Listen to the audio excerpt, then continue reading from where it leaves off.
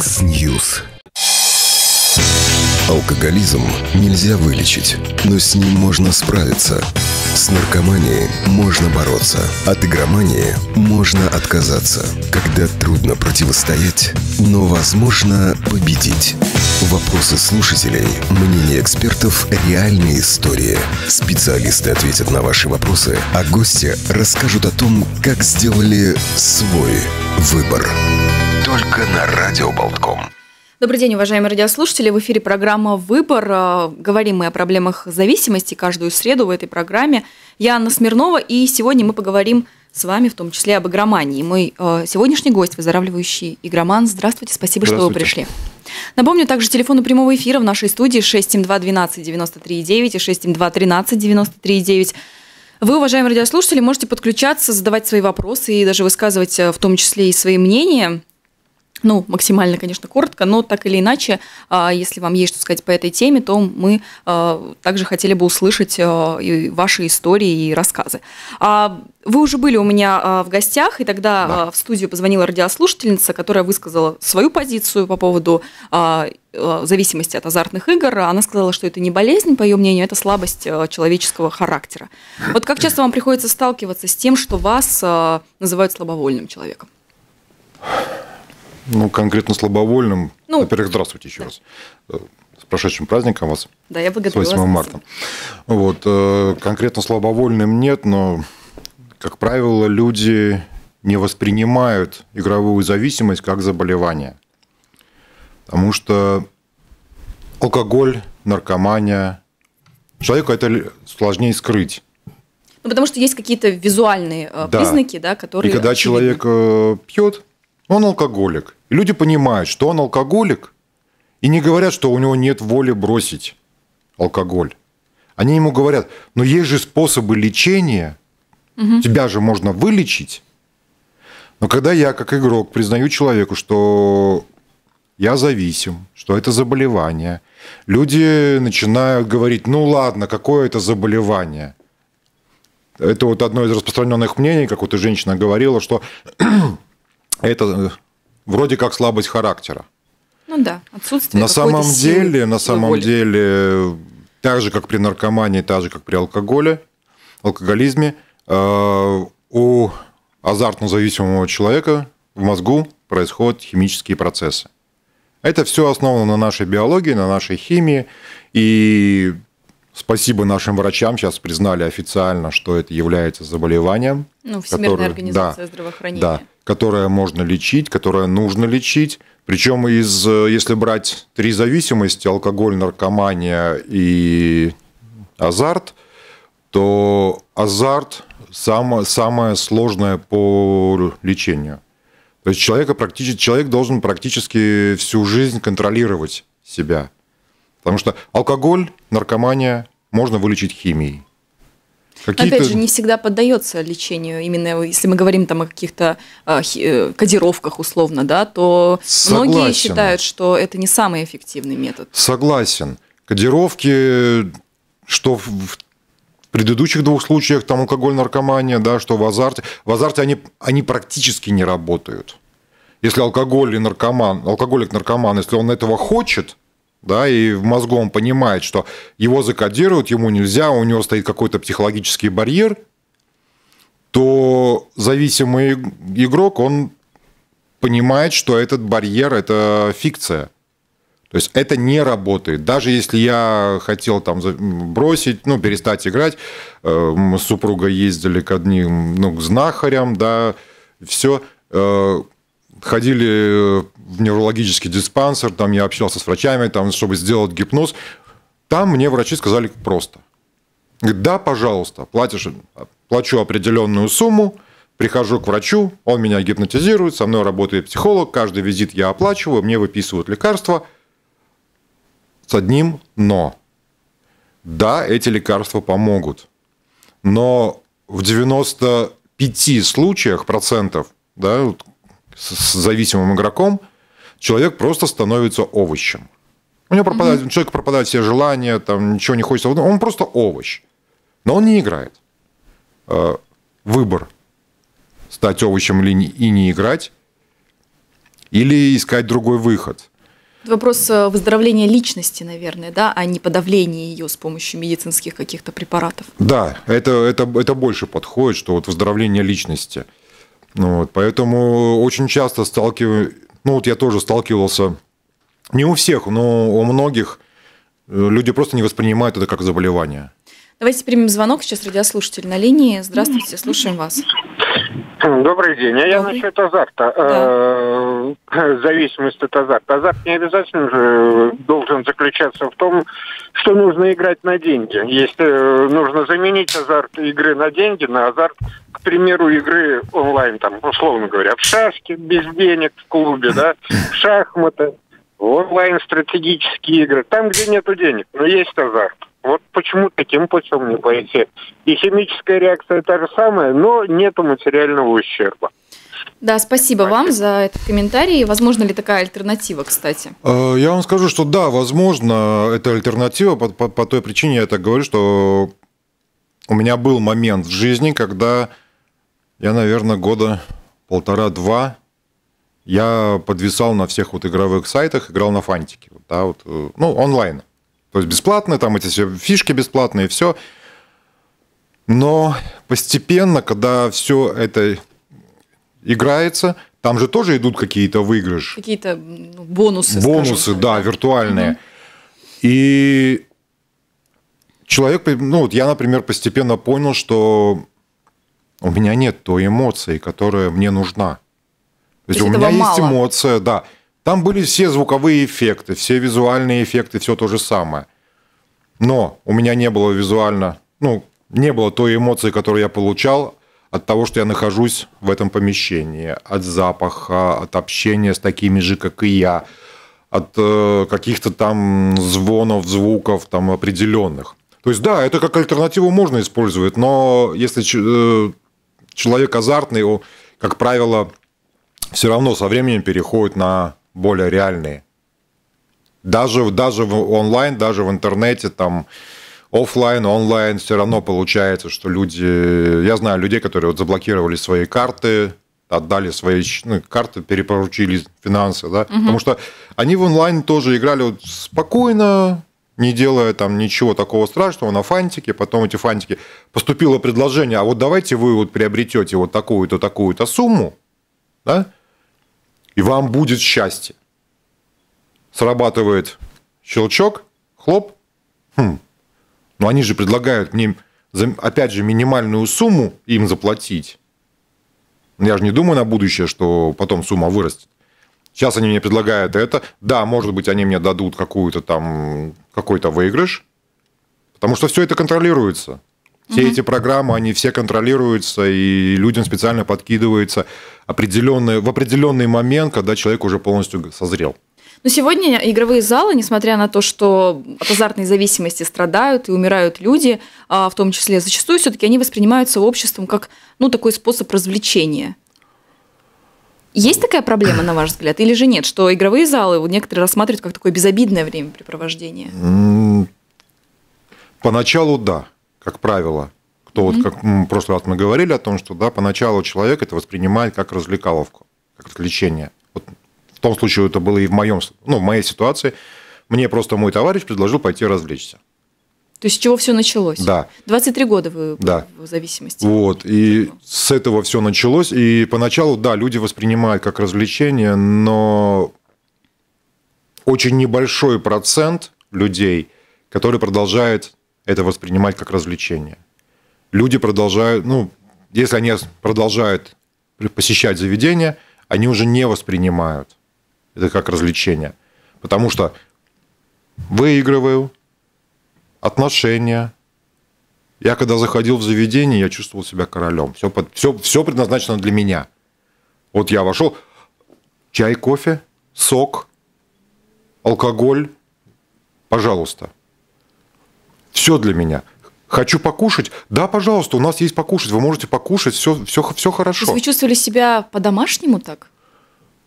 Не то чтобы совсем по-домашнему, но я чувствовал себя комфортно. Угу. Вот это вот чувство комфорта, оно тоже играет свою роль. И ведь весь этот персонал обучают, как людей вот так вот э, затягивать, чтобы они чувствовали себя. То есть, получается, я прихожу, я прихожу, ну, не в семью, а к друзьям, которые... Ощущение вот какого-то такого уюта. Да. Родного да, уюта. да, У нас да. еще есть звонок, радиослушатель на линии. Здравствуйте. Добрый день, а это я повторно звоню. Ну да, есть такой момент, что этот самый все для себя, чувствовать себя королем, так я именно о том и говорю, что азарт нужно испытывать не от того, что ты король и жизни все тебе подчинено, да, найти действительно себя перенаправить на то, что э, ты умнее не заведения того, кто тебе этот самый предлагает на деньги играть, а умнее э, условно э, тех партнеров, с кем ты в онлайн там А у вас есть Э, опыт? таких? У вас есть опыт таких игр? Есть, есть, есть. И в шахматы, и в шашки, и всякие разные другие. И легко перенастраиваться. Нужно быть нормальным человеком. Ну, то есть вы, простите, вы именно перенастроились? Вы именно перенастроились или же да, это да, да, да, да, да. то Не есть перенаправили халявы, свой интерес? Не быть, не быть жадным, да, а именно искать э, вообще в том, что ты умнее соседа, а не э, системы этой всей. И все будет нормально. Азарт ищите в другом, да, и химическую реакцию получите, удовольствие ту самую, и все будет хорошо вас. Да, спасибо вам, что вы позвонили. Кстати, эта история, как радиослушатель рассказал, а, что ты умнее соседа. Интеллектуальный момент какой-то вот в момент, опять же, игры в азартные игры, да, он возникает, этот интеллектуаль- интеллектуальный поединок, какое-то чувство, что ты можешь превзойти тот же, я не знаю, автомат. Автомат? Да, да, да. Э, Ну, Хотя известно, чтобы победить казино, нужно купить казино. Это единственный вариант. Да. Но так или, или, или взорвать его. Как вариант. Э, Поначалу, да, возникает такое ощущение, что, ну, блин, ну, я же далеко не глупый человек. Я же понимаю, что вот я вот сейчас, вот у меня своя система, у меня своя программа, которая вот я сейчас проверну, и я выиграю. Это потом приходит осознание того, что, в принципе, морально деградируется.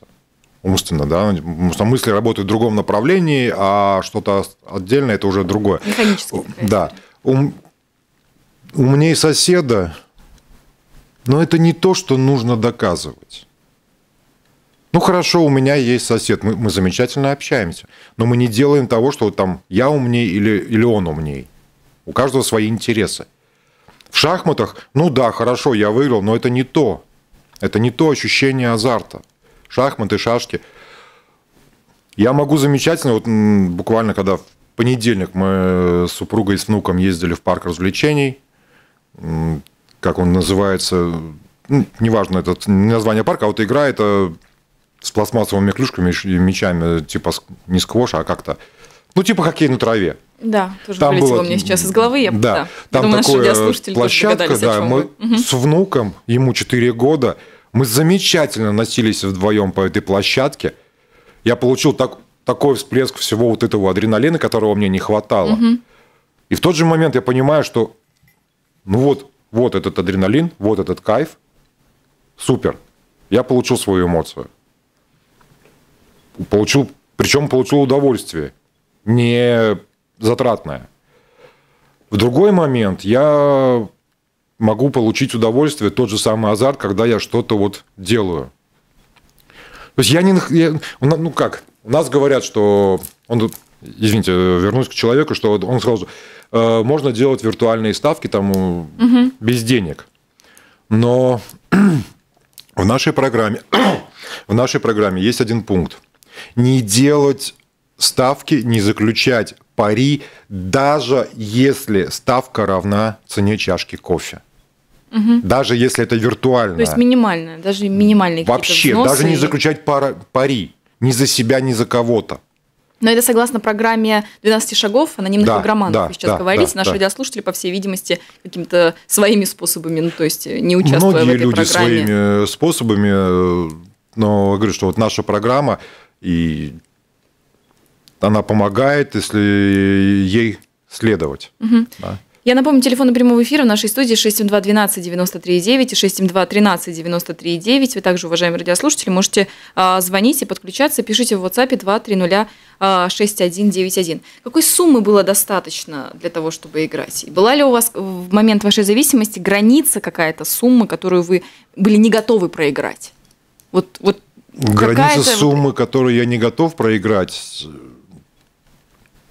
какой-то потолок, что вот дальше я уже не пойду. Такого не Нет. было. Чем сколько я могу найти денег на данный момент, столько будет проиграно. Минимальная сумма, ну, это та, которая позволяет, которую принимает железный ящик этот. Еще у нас есть звонок. Здравствуйте. Алло. Да, мы слушаем вас. Здравствуйте. Здравствуйте. Меня зовут Ян. Я хотел спросить, что конкретно... Очень, вы, мы хотим чуть Да. получше вас слышать, а вы, кажется, очень далеко от э, микрофона. Если можно, Алло. чуть поближе. Алло. Да, мы слышим вас. Да. Скажите, такой вопрос. Что конкретно... Почему-то все пропадает. Вы нам, возможно, звоните через интернет. У нас э, какие-то перебои со связью. Если можно, перезвоните нам, пожалуйста, и мы выслушаем вас. Я напомню еще раз телефоны прямого эфира 672 12 93 9 и 672 13 93 9. Ну, вы подсчитывали, сколько всего, какой финансовый э, ущерб у вас за время своей зависимости 23 года? Пытались как-то это все обрамить? Да, я примерно, ну, еще, еще, еще, находил, еще находился в зависимости, я примерно, ну, не сумму, скажем так, я подсчитывал эквивалент того, что я проиграл.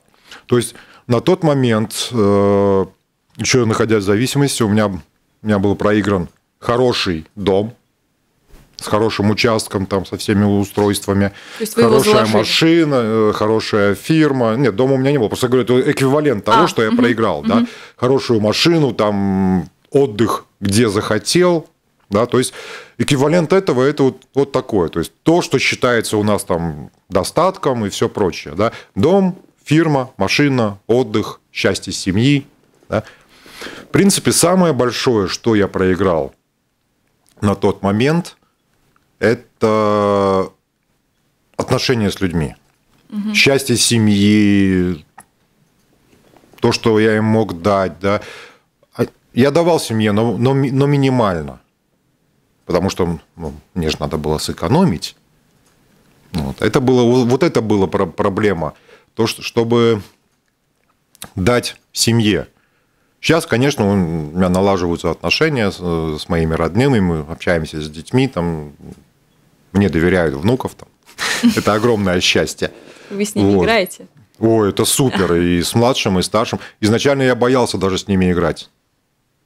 Когда э, ребенок предлагал, деда, давай сыграем в какую-то настольную игру. У вас было ощущение, что это какой-то риск для вас? Особенно, что связано было там бросать кубики, там, да, вот или что-то. У меня сразу в голове Ассоциация. начинало там ассоци- ассоциативное мышление, что вот этот хлоп-хлоп, ну, нет, давай другой раз, давай что-нибудь другое поиграем. А теперь? Сейчас я свободно к этому отношусь, спокойно. То есть у меня, у меня мозг уже перестраивается, и я могу спокойно к этому относиться, ну, вот, не переживать. Ну, опять же, наша литература, опять же, вот, э, заходя на, на, на нашу интернет-страницу, общаясь там э, с нашими, у нас есть свой интернет-сайт в интернете. Э, если можно, я озвучу наз- Да, конечно. нашу страничку. У нас он звучит as.org.lv. Там вся информация по нашим содружествам, по нашим событиям. Сейчас у нас намечается, э, скажем так, ежегодное большое такое мероприятие. Это наш летний лагерь. То есть на три дня мы уезжаем за пределы Риги. Ну, кто хочет, да, потому что, опять же, мы сами это все оплачиваем. Вот, кто хочет, едет. Там проходят собрания, там проходят спортивные игры, там проходит общение. Можно с семьей поехать. Это, как правило, это выбираются места на берегу, где можно и искупаться, ну, в зависимости от нашего лета, что она нам преподнесет. Вот. И сейчас мы вот, э, наша организация с этим, содружество наше с этим работает и выбираем место, где что и будет, когда. Вот. Сейчас небольшой перерыв сделаем, потом мы вернемся и продолжим, в том числе и продолжим принимать ваши звонки. Оставайтесь с нами. Mix News. Мы продолжаем. Это программа «Выбор». Говорим мы сегодня об игромании. У меня в гостях э, выздоравливающий игроман. Здравствуйте, спасибо, что вы Еще раз пришли. здравствуйте. Напомню, телефоны прямого эфира в нашей студии 672 12 93 9 и 672 13 93 9 и номер WhatsApp 230 6191. Вы можете звонить и писать, задавать вопросы и высказывать какие-то а, комментарии и реплики. Но вот до перерыва вы говорили о том, что главное, что вы проиграли, наверное, в тот период своей зависимости 23-летней, это то, что это общение с близкими, с окружением и с семьей, наверное, да, то, что вы им не да. додали в период своей зависимости. Один из моих гостей, выздоравливающий игроман, он был буквально недавно у меня в программе, он говорил о том, как менялось его окружение и как друзья отворачивались от него, потому что он проблемный. Приходилось вам с таким сталкиваться? Ну, у меня немножко... С вами не хотели иметь дело? У меня немножко другая ситуация, потому что э, как таковых друзей у меня не было. У меня были знакомые, у меня были товарищи, да, многие отвернулись. Но самое интересное, что человек, с которым я меньше всего общался, я не считал его там своим другом, просто знакомец, да, угу. когда-то работали вместе. Он был первый из тех, кому я признался в том, что я зависим. Почему так произошло? Мы стояли, курили, разговаривали, и просто зашел об этом разговор. Он не игрок, он далек от этой проблемы. Вот. И зашел об этом разговор, я ему признался. Вот тогда я понял, что я могу разговаривать об этом с людьми, потому что он настолько адекватно это воспринял. И что он вам сказал? А он сделал попытку разобраться в, это, в, это, в этой проблеме, почему вот я это делаю, для чего я это делаю. И он мне предложил сделать такую попытку. Я уже ходил тогда в Содружество. Вот. Мы с ним поговорили, пообщались. Он даже не то, что разобраться, он попытался понять вот это все. В итоге он сказал, что ну, я этого не понимаю, и мне сложно понять. Но он не, не отвернулся, мы периодически встречаемся, общаемся уже совсем на другие темы, на другие вещи. Но э, многие, конечно, отворачиваются, когда узнают, что или есть зависимость, или был зависимый. Но в большинстве случаев я сталкиваюсь с теми людьми, которые воспринимают адекватно. Вот я уже приводила этот пример как раз к сказанному вами, а, ремарка «Жизнь взаймы», и там как э, описывается вот это рассуждение о том, что в больном всегда будет что-то отталкивающее для здорового, но и здоровый может быть вульгарным для больного. В этом смысле э, сытый голодному не товарищ все-таки, потому что мы говорили в том числе об этом и с психиатром, который приходил в нашу программу, и он как раз, ну, наверное, признал то, что э, с медицинской точки зрения он пытается разобраться в да скажем так, в голове, да, в мыслях uh зависимого, но в то же время по-настоящему понять его он все-таки не может, потому что сам через это не прошел. Я согласен. В принципе, это относится не только к э, игровой зависимости, это к любой зависимости. Человек, который не прошел через это, угу. он никогда не поймет ни меня, ни алкоголика, ни наркомана, потому что он не понимает саму суть вот этого действия. У него другие проблемы. Мы в нашем содружестве э, пытаемся привести себя, как сказать, э, в нормальное состояние. Но сказать честно, я последнее время понимаю, что состояние нормальности в наше время относительно. Потому что у каждого человека свои тараканы, у каждого человека свои какие-то там заморочки, в которых он крутится, вертится, живет. И многое... То есть какого-то такого единого критерия того, что такое нормально – в вашем содружестве в том числе не существует. Но тут, наверное, смысл в том, чтобы принять индивидуальность каждого, может быть. Возможно, возможно, что такая демократия. Ну да, потому что у таланты каждого... каждого могут быть проявлены. Да, у каждого есть свое, и у нас э, нормальность, понятие нормальности это одно. Угу. Вот, у другого человека понятие нормальности это, это совсем, совсем противоположные качества. Да? Например, когда я находился в зависимости, я считал себя абсолютно нормальным. То есть я считал, что я, я адекватный, я умный, я сильный, я могу. Угу. Но в то же время я понимал, что в моей жизни ложь, обман, какие-то махинации, какие-то придумывания каких-то там невероятных ситуаций, это разное. То есть, ну, сложно понять, что такое при, прийти, привести себя в нормальное. И действительно, простому человеку сложно понять, не побывав в этой шкуре. Но не советую никому в, этих, в этих ситуациях быть. Потому что я знаю, что вот у меня был человек знакомый, ну, почему был он и сейчас есть, правда, я давно уже не видел – он старше меня на, на приличный э, возраст. У него была зависимость алкоголь. Получилось так, что родные его закодировали на 10 лет. Когда мы познакомились, он был уже закодирован, он не пил. Замечательный человек. Золотые руки, умная голова. Рыбак Вообще, он никогда не приходил без рыбы. Мы ловили рядом, он у него рыба, у меня нет. Ну, вот не знаю, как получалось. Но... Искусство рыболовства. Да. В итоге оказалось, что все 10 лет человек жил мыслью о том, что вот 10 лет пройдут, у него кончится кодировка, и он выпьет. То есть это такой дембель. Да. И когда прошло 10 лет, и когда я первый раз увидел, как его на руках тащат домой, я говорю, подождите, давайте вызовем скорую, человеку плохо.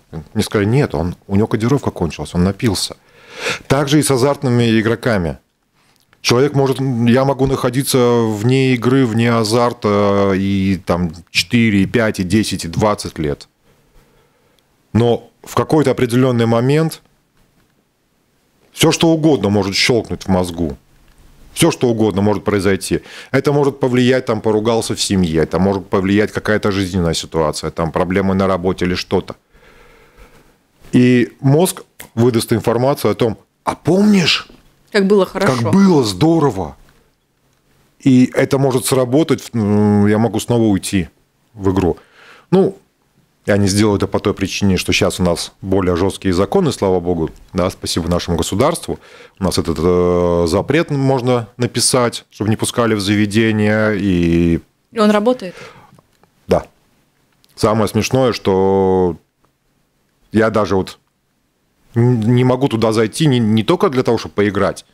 Я не могу купить элементарно сигарет, попить там чего-то, да не в эфире сказано, я не могу зайти туда даже в туалет. Угу. Меня просто не пустят, потому что стоит запрет. Вот. Это тоже работает. И, кстати, когда написал запрет, это в моем больном мозгу щелкнул очередной выключатель, который так хлоп, все, парень, попал. Не можешь туда войти. Ну и все, и нечего об этом даже размышлять. Потому что все равно, сколько бы я ни находился в чистоте, я все равно, находясь в городе, еду, ну, еду куда-то с семьей или что-то по делам. И вот когда проезжаете мимо казино, да. какие это эмоции, какие чувства? Это, Поначалу, это есть ассоциации, может быть, какие-то связанные э, с тем, что было? Поначалу я видел только вот эти вот вывески. Казино, казино, казино, игровые заведения, Лами Тауэр, там, да, все это. Угу. И пытался Отворачиваешь голову в одну, отворачивал голову в одну сторону, взгляд упирался в другое. Отворачивал голову опять, опять заведение. Э, со временем постепенно я стал замечать, что у нас куча магазинов, кроме заведений. У нас есть замечательные кафешки, где можно посидеть. У нас есть замечательные места, музеи, где можно погулять. У нас есть кинотеатры. Мы сейчас с супругой регулярно ходим, посещаем кинотеатры. Здорово. И уже меньше стал обращать внимание на эти все вывески. Хотя их очень много. Но даже если я их замечаю, уже нету того всплеска, который эмоций. Блин, вот заведение, ай, ай, а я с супругой, блин, как, как бы мне вот, ну, угу. хоть на минутку, хоть на секунду заскочить. Вырваться. Уже, уже, уже нету этого. Я спокойно прохожу, я понимаю, я даже вижу, там жалюзи не всегда закрыты полностью. Я вижу, и мне жалко становится людей, которые вот выходят оттуда, заходят туда. То есть вы чувство сострадания Чувство сострадания, да, потому что я через это прошел. У нас была ситуация, когда ну, у меня супруга работала допоздна, я шел встречать ее с транспорта, и передо мной шли молодые люди, ну, может, лет 19-20. И они с таким самозабвением обсуждали заведение, какую игру они будут играть, сколько они поставят, а почему прошлый раз не получилось. Я иду и думаю, боже, вот это же я. Вот это я три года назад.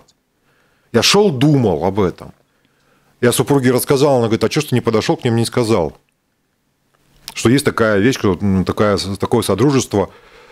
А стоило подойти, как вы считаете? Или... Нет. Нет. Человек, э, это выбор человека, человек должен сам понять, что нужно сделать, что это проблема. С другой стороны, ведь э, бывает такое, что в жизни что-то дает э, ускорение к этому.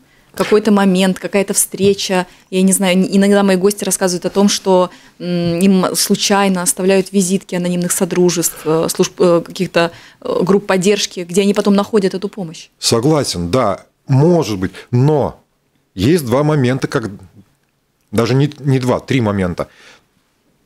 Когда это не сработает. Угу. Первое – это когда человек идет в заведение. По той причине, что человек в этот момент настроен, целенаправлен. И если я к нему подойду, ну это то же самое, что вот на улице подойдут свидетели Еговы, там, да, или еще кто-то там с какой-то пропагандой. И вот эти вот Листочки. проспекты раздают, да? да. Просто отмахнулся и пошел. В лучшем случае меня пошлют, в худшем я получу в лоб. Когда человек выходит из заведения, его лучше тоже не трогать. По той причине, что человек, как правило, оставил там много денег. Да? Угу. Все, ну, хорошо, если не все, что у него было. И на тот момент у него мысли, блин, опять все проиграл, опять отмазываться перед семьей, если есть семья, опять выкручиваться. Человек уже думает о другом. Если я подойду, скажу, вот у меня есть вот такая вот возможность, он меня даже не то, что не услышит, он меня не увидит. И третий такой подпункт – это когда человек находится именно в заведении. О чем, о, о чем я говорю ему?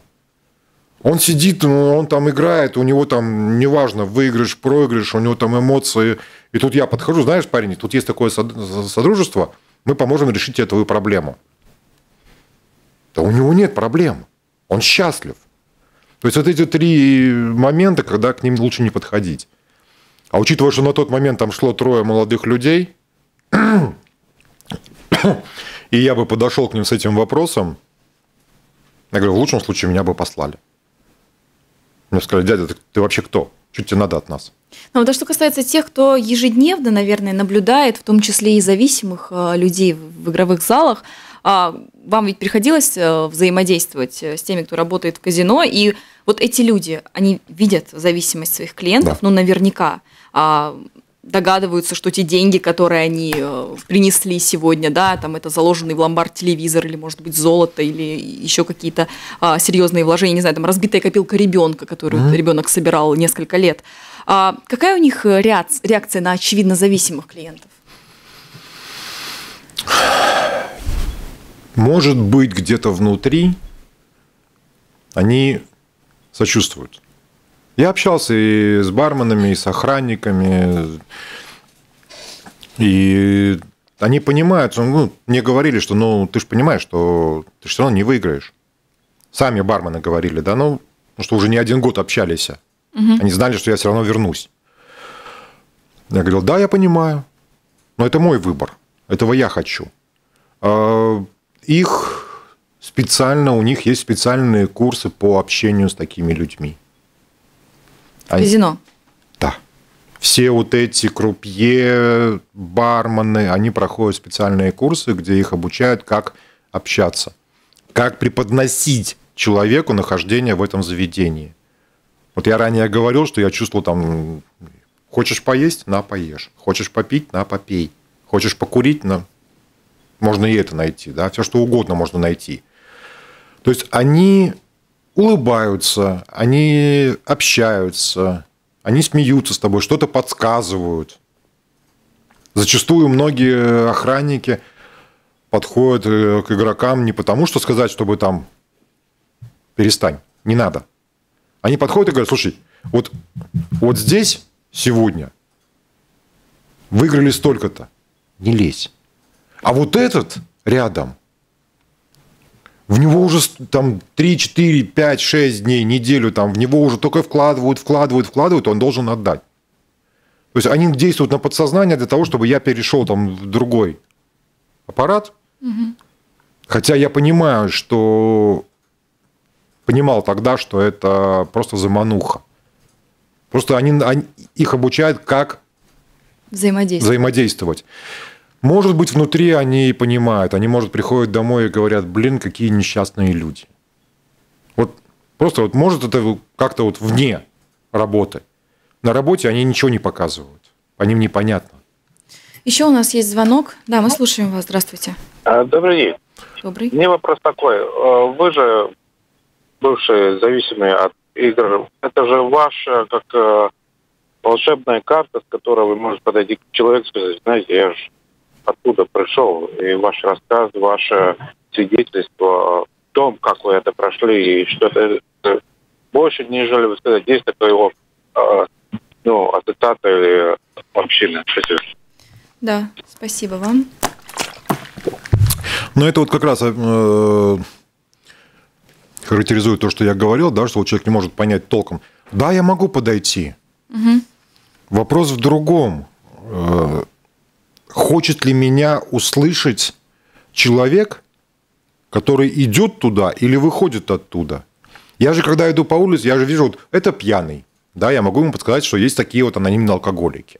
Это идет наркоман, я могу ему сказать, что есть лечебница от нарк- наркомании. Но я не могу определить по внешнему виду, что идет игрок. Он идет, он может там с кем-то идти общаться, улыбаться, и в тот же момент он попрощается, и как вот у меня много раз было, что я все, давайте пока, я пошел, захожу, смотрю, чтобы никого не было, и туда. То есть, есть оглядываясь. Да. То есть э, игрока можно увидеть тогда, когда он туда заходит или выходит, или находится там. Поэтому вопрос в другом, не в том, что могу ли я, да, что у меня есть золотая карта, как сказал человек, да, что угу. вот я могу подойти и сказать, хочет ли человек меня услышать, достиг ли он того своего дна, о котором мы уже говорили там ранее, да? Ну, от которого, да. как правило, Оттал... необходимо от... отталкиваться, да. чтобы выбраться. Как правило, эти люди, они не хотят этого слышать. Они не хотят понимать, что вот им, им дается спасательный круг, да, вот как утопающему. Я вот там взял, кинул ему спасательный круг, он уцепился, я его вытащил. Здесь человек, я говорю, что в лучшем случае он отмахнется. Все, отстанет, что ты ко мне лезешь. Вот, вот в, чем, в чем дело. Потому что игроки, ну, зная себя, ну, по, своей ситуации, я могу сказать, что я был настолько скрытен, что у меня даже даже мои самые близкие люди, которые видели меня каждый день, целый день, там, да, они даже не догадывались о том, что я играю. Потому что находилась куча отмазок, куча отговорок на все. Поэтому, и если бы ко мне, вот я ставлю себя на место этих людей, да, если бы ко мне в тот момент кто-то подошел, я бы ничего ему не сказал. Я бы просто развернулся бы ушел. Я уже рассказывал ситуацию, что вот сын мой, нашел, младший сын нашел мне э, адрес и телефон Содружества, да, угу. и смотрите, что произошло. Он мне нашел это, да, но я его положил на полочку, и еще полгода я продолжал себя загонять. Так вот и получается, что я на тот момент не хотел этой помощи. Я не хотел получить то, что мне кинули спасательный круг. Мне нужно было достичь дна. Я оттолкнулся и начал всплывать. Слава богу, сейчас уже почти всплыл. Сейчас уже просто поддерживаю себя на плаву. Еще у нас есть звонок, мы слушаем вас. Да, сорвался у нас звонок. Перезвоните 672 12 93 9 и 672 13 93 9. Телефоны прямого эфира в нашей студии. И можно также писать нам в WhatsApp 2306191. Но все-таки, вот возвращаясь э, к тому комментарию нашего радиослушателя,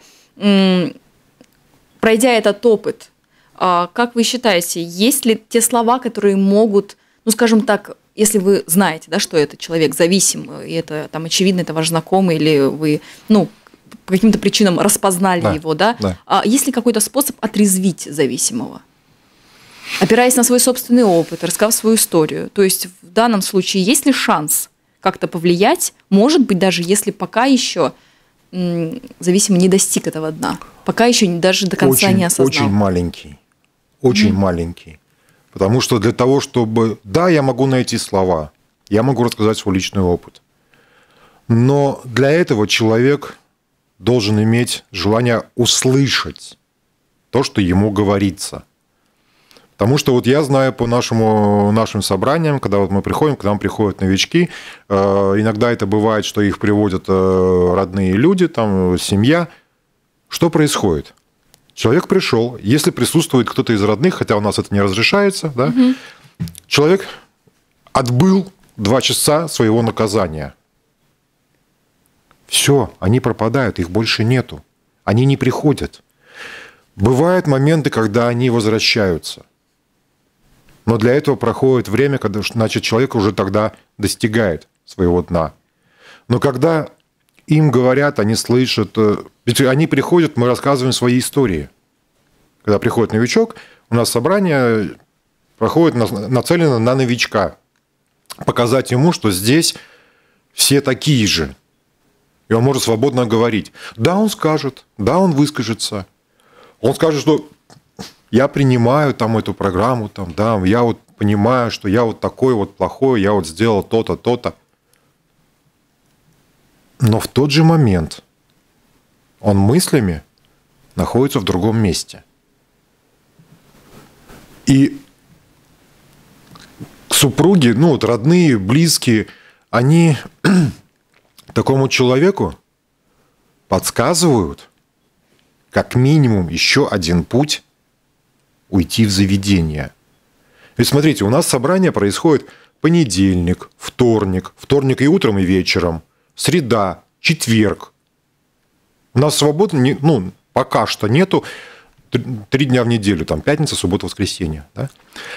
Э, собрание происходит вечером, с 7 до 9.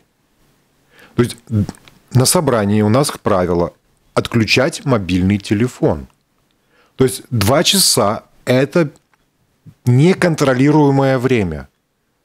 Да блин, это для, для азартного человека это колондайк. Два часа независимости, два часа никто не капает на, на мозге, никто не звонит, никто не дергает. Угу.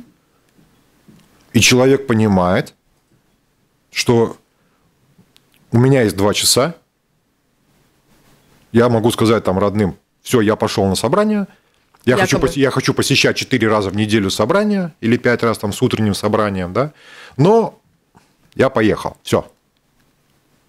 Ну, к примеру, я из дома вот, э, выхожу, чтобы доехать до собрания, мне это опять же нужно время, плюс время нахождения там, плюс время возвращения. У меня это получается где-то в день, ну, 3,5, 3, 3,5, 4 часа. Ну, в зависимости там, от разных ситуаций, да.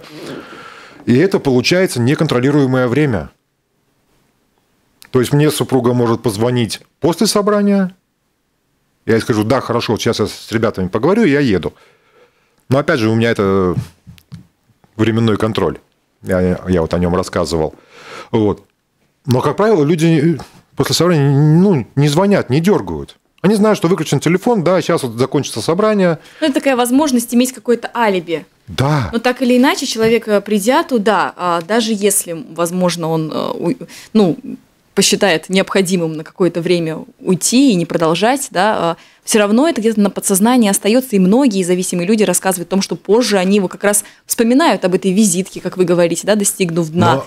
Или же еще о том, да. что было тогда, что могло помочь, и ищут именно этой помощи и находят ее там. Но опять же, э, дело в том, что э, хочет ли человек это услышать. Даже на Я могу, ну, говорю, если бы вот ко мне подошел человек, когда вот я играл, да, когда был в зависимости, дал мне визитку, дал мне брошюру, что я с ней делаю? Я ее выкидываю. Это мусор, это мне мешает, мне, оно, оно мне не надо. Да? Я захожу, покупаю, там, к примеру, та же самая лотерея, там где-то что-то написано внизу мелкими буквами, мелким шрифтом. Но я же этого не читаю. Хотя там полезная информация написана. Меня интересует только то, что вот сверху. Поэтому можно ходить, рассказывать, можно ходить с мегафоном, кричать. Но... Важно захотеть самому. Да. Это первое, что первое правило, э, я должен сам признать, что у меня проблема, что, что я хочу ее решать. Спасибо вам, что вы пришли. Да, пожалуйста. Всегда рад с вами общаться.